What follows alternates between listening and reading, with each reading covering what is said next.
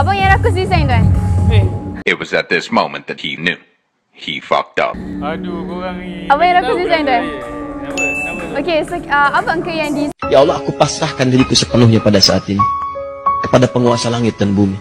untuk uh, neonate tau ni? Ah, ya. Tapi bukan semua lah. Bukan Adalah, semua. Adalah.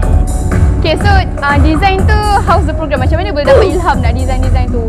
From what? Banyak inspired daripada adalah setengahnya inspired daripada band luar juga. International band, daripada local band pun ada juga. Dalam proses design tu susah tak?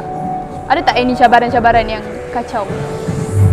Of course lah ada cabaran dia. Dalam setiap design yang saya hasilkan mesti akan ada cabaran dia.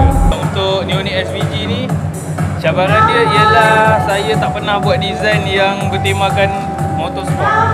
Oh, faham. So, ni first time lah abang Ah, abang first time lah. buat design tu excited tak buat time nak buat tu? Of course lah excited kan. Excited kan.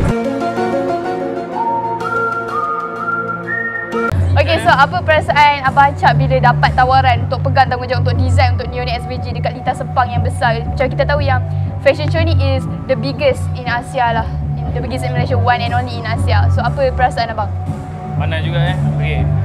Perasaan dia eh pun tahun ketiga lah. Tahun ketiga, Tahun ketiga saya dah. dengan Neonate.